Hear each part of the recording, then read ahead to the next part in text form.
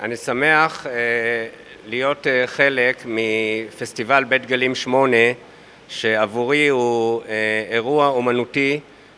מרגש מאוד. במתחם חוף הגולשים, קוראים לזה ים יבשה ים, ארגנתי כאן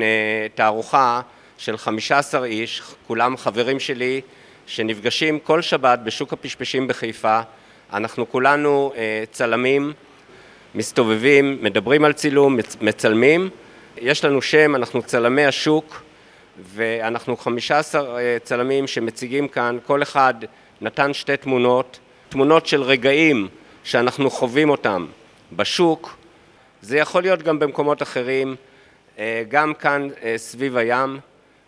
תערוכה נפלאה שנפתחת מחר יחד עם כל הפסטיבל בשעה עשר בבוקר, אנחנו נערוך כאן פתיחה בארבע, פתיחה שלנו, אתם מוזמנים